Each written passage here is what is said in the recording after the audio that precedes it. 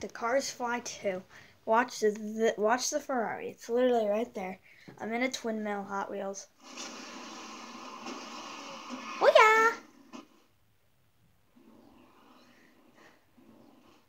See yeah, this is about uh, like 200 miles per hour. Just slam it into the wall, and it just goes flying. Let's watch the whole thing in slow mo.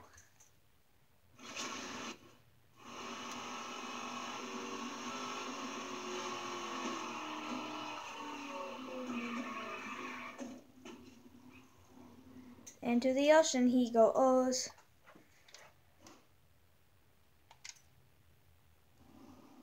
I know, where is he?